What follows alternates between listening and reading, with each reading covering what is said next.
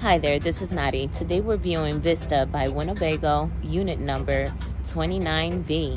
Follow me.